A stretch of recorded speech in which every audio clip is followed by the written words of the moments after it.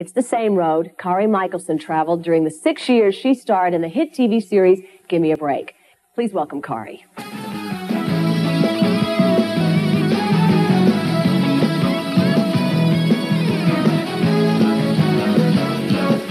From the hit series Give Me a Break, the lovely Miss Kari Michaelsen.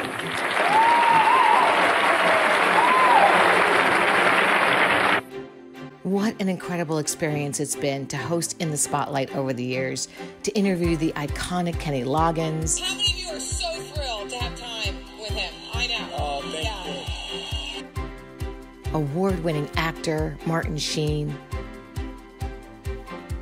Three, two, one, and there he is. Hello. Well, hello, Kari. How are you? Don't get me singing because I'll do the whole song.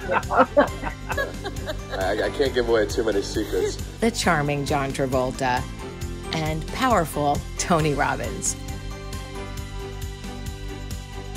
But the mental game is also so much a part of the success and the staying power in business. Absolutely. Would you agree with that? 100%. And you have to cut those negative people out of your life kind and talented Donny Osmond and the very fun Larry Hagman, who I adore. And of course, Sue Ellen Ewing, Linda Gray.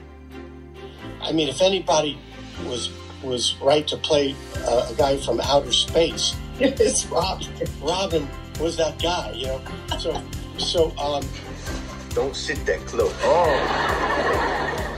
And then we heard by like Monday or Tuesday, oh, he's got his own show now.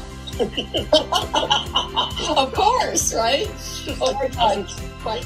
Mick Fleetwood still entertaining us after all these years.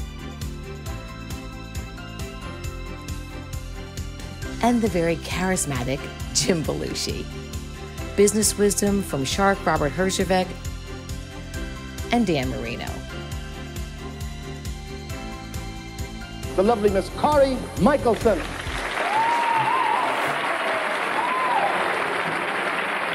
Just a few of the incredible people I've had the privilege to have on the show that have made me laugh, inspired me, and have touched my heart.